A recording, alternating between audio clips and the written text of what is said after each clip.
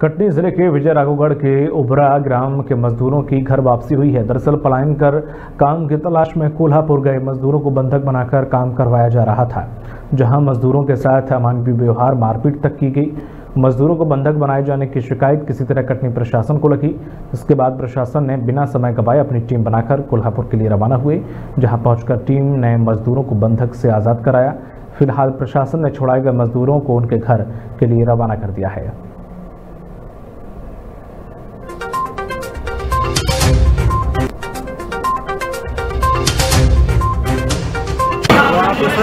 लेके गए थे इतार सिनांकुल के बीच में और लेके चले गए कोल्हापुर खाना ना मिलता था? खाना सर फिर उसमें दो हफ़्ते से चेन्नई में और क्या होता था वहाँ पे?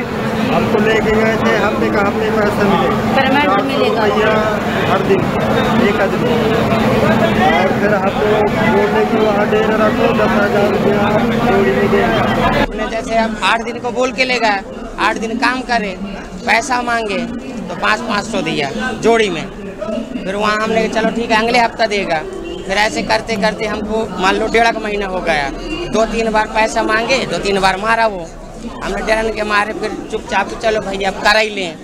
और बोलेंगे तो और मारेगा रगड़ के। तो ऐसे करते करते फिर शासन को सूचना दी।